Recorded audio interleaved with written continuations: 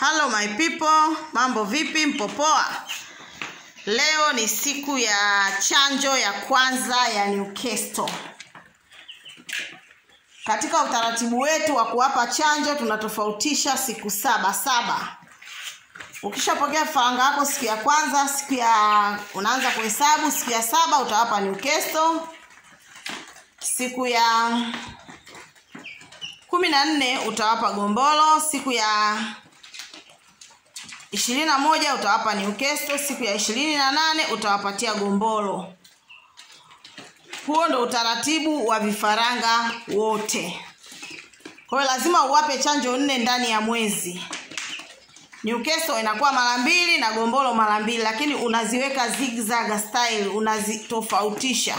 Unaanza Newcastle inafuata gombolo, Newcastle gombolo, Newcastle hivyo hivyo mpaka unamaliza. Kwa broila kwa saso, kwa kroila hata kwa wakienyeji. Isipokuwa mimi kwa hawa broila mimi nawapa chanjo mbili tu, Newcastle wiki ya kwanza na gombolo wiki ya pili. Baada ya hapo nacheza na antibiotic na vitamin, antibiotic vitamin, antibiotic vitamin mpaka nawaingiza sokoni, kwa sababu hawa ni kuku wanaofugwa kwa muda mfupi na wanaenda kuliwa na watu. Kwa hiyo katika u, u, kujaribu kupunguza chemicals kwa walaji ili wasiathirike sana na haya machanjo, ndio maana mimi nawapa chanjo mbili tu, siwapi chanjo nne.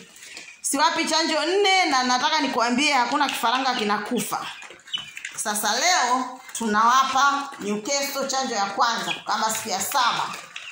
Baada ya hapo tutawapa maji plain ya vitamini 2 wiki inayofuata tutawapa vitamini tu kwa sababu wiki ya kwanza tumekuwa tukiwapa antibiotic na vitamini sasa baada ya hapo tutakuwa tunawapa vitamini 2 siku ya kumi na tatu tutawapa maji pleni siku ya kumi na nne tutawapa gombolo.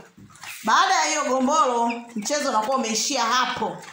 Tunaendelea na antibiotic na na na vitamini mpaka wanaingia sokoni lakini ile antibiotic tutawapa wiki ya tatu tu.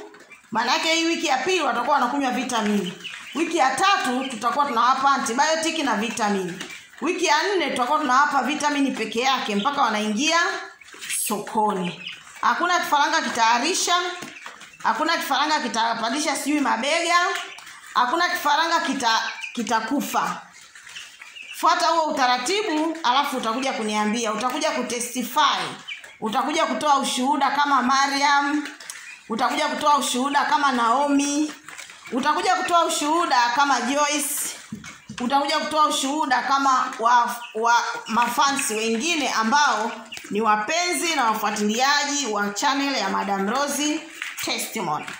Mimi nawapenda sana, nawapenda sana, nawathamini sana, na ndio maana huwa narudiarudia kuwapa elimu ambayo inata, inakuwa ni muhimu kwa kupokea na kuwatunza vifaranga wetu mpaka pale wanapofikia hatua ya kuuzwa kupelekwa sokoni. Mi nawashukuru sana. Nachokuomba wewe usisahau kusubscribe kushare kucomment kulike.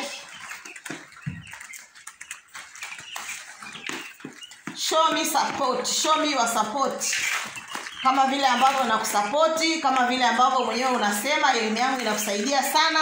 Basi na wewe naomba unisaidie tu kwa kusikiliza video mpaka mwisho. Unapokutana na tangazo usilikate lile tangazo usiskipu.